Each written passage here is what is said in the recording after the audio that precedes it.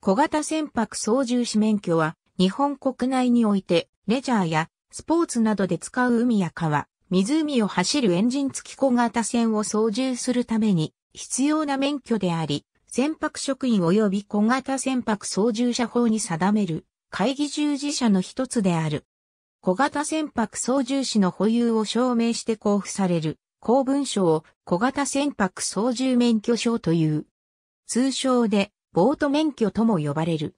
また、20トン未満の船舶操縦には、会議士のみは不可であり、小型船舶操縦士の免状が必要である。小型船舶操縦免許証縦 5.4cm 横 8.56cm、微光視力イコール両目ともに0.5以上、色角イコール夜間において、船舶の投下が識別できること張力イコール5メートル以上、離れた距離で和製語が識別できること疾病及び身体機能の障害合格基準は各科目50%以上、総合65%以上である。一小型船舶操縦者の心得及び遵守事項、2級は10問出題1級、2級、2級、特殊は水上交通の特性、小型船舶操縦者の心得、小型船舶操縦者の遵守事項。2交通の方法、2級は8問出題、特殊は10問出題1級、2級は一般海域での交通の方法、港内での交通の方法、特定海域での交通の方法、古船及び特定水域での交通の方法、2級、特殊は一般水域での交通の方法、古船及び特定水域での交通の方法、港内での交通の方法。3運行、2級は12問出題、特殊は18問出題1級、2級は操縦一般、航海の基礎、船体、設備及び装備品、機関の取り扱い、気象及び、生打ち、航天時の操縦、事故対策、2級は、操縦一般、高型の基礎知識、点検及び、保守、気象及び、解消の基礎知識、事故対策、特殊は運行上の注意事項、操縦一般、航海の基礎、点検及び、保守、気象及び、解消の基礎知識、事故対策。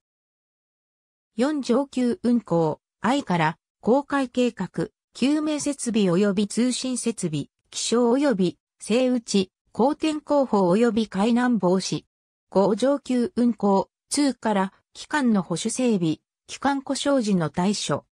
1小型船舶の取扱1級、2級は、発行前の準備及び点検、わからん及び経流、傑作、方位測定、2級は、発行前の準備及び点検、わからん及び経流、傑作、特殊は、発行前の準備及び点検、傑作。2操縦基本操作は安全確認、発進、直進及び停止、更新、変身、旋回及び連続旋回、応用操縦は、回答、人命救助、飛行操船、離岸及び着岸、2級安全確認、発進、直進及び停止、変身、旋回、人命救助、離岸及び着岸、特殊安全確認、発進、直進及び停止、旋回及び連続旋回、危険回避、人命救助。実技試験は1級、2級は、総トン数5トン未満、長さ4メートル以上、9メートル未満の滑走型船を2級は推進機関の出力が 15kW 未満、総トン数5トン未満、長さ3メートル以上、9メートル未満の船外機船を特殊は定員3名の水上オートバイを用いて行われる。学科試験のうち交通の方法、運行、上級運行1及び2が科目免除となる。学科試験のうち交通の方法、運行、上級運行1が科目免除となる。学科試験のうち上級運行2が科目免除となる。大きく分けて2つある。一つは通称受験コースと呼ばれるもので、もう一つは教習所コースと呼ばれるものである。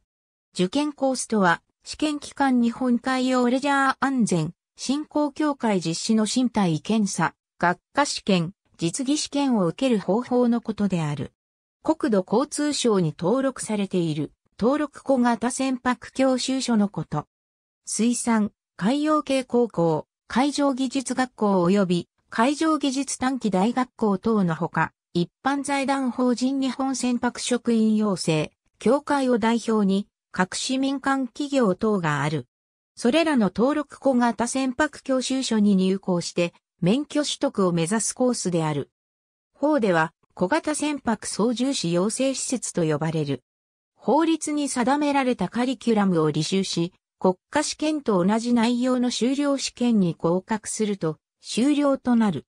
その終了証明書と必要書類を添付して、一般財団法人日本海洋レジャー安全振興協会に受験申請を行うと、国家試験のうち、学科試験と実技試験が免除され身体検査のみの受験となる。民間の登録小型船舶教習所格、教習所において値段はまちまちである。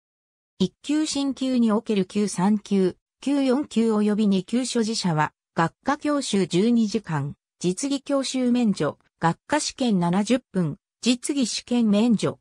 水産、海洋系高校の場合水産、海洋系高校の場合、カリキュラムの中での講習となるため、講習料はかからない。1級、または2級及び特殊小型船舶操縦し合わせて、法定費用、計約3万円のみ。ただし、水産、海洋系高校の場合、卒業しなければ、資格取得できない。